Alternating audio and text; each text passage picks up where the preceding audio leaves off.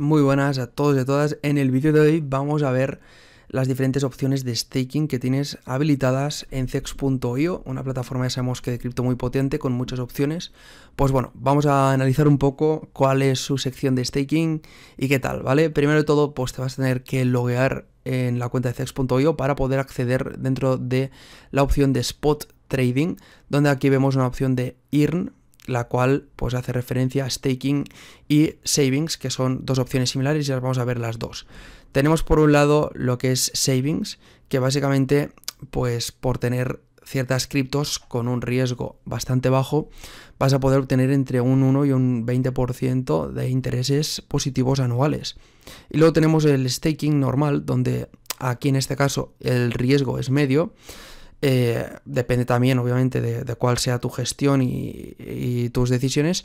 Pero aquí lo bueno es que puedes obtener incluso 50% y demás de staking, de intereses, que está muy bien, ¿vale? Entonces, bueno, voy a abrir las dos, savings y staking. Como es, en este caso, yo no tengo habilitado savings en mi región a día de hoy, pero lo estará próximamente. Por lo tanto, esta no os lo puedo enseñar por dentro, pero de normal aquí habrán criptos más estables o incluso puede haber alguna stablecoin eh, para, para, poder holdear a largo plazo y obtener un interés no muy alto, pero con supuestamente bajo riesgo.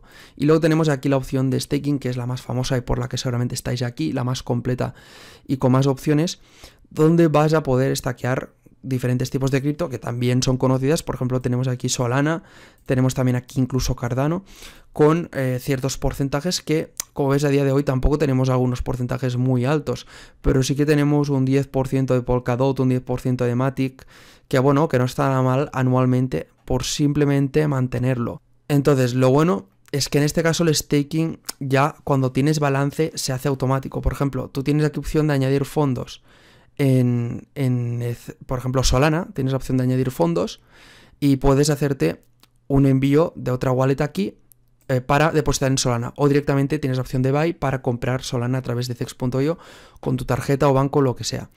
Pero en este caso, em, no no hay una opción como tal de poner algo en staking, sino cuando tú tengas Solana, directamente ya estará en staking, y estarás obteniendo beneficios, similar un poco a cómo funciona Coinbase. Entonces abajo vas a ver un poco cuál es el día a día de los beneficios que te da ese staking, esos intereses y un poco el portafolio general a nivel de eh, historial, ¿vale?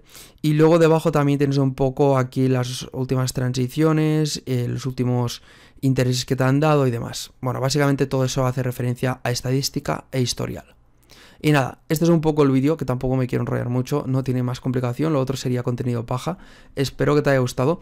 Tienes em, también preguntas frecuentes acerca de staking y tal en su apartado respectivo en apartado de ayuda de cex.io por si quieres empaparte e informarte mucho más al respecto.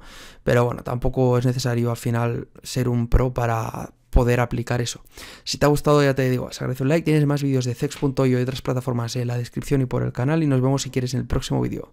Un saludo.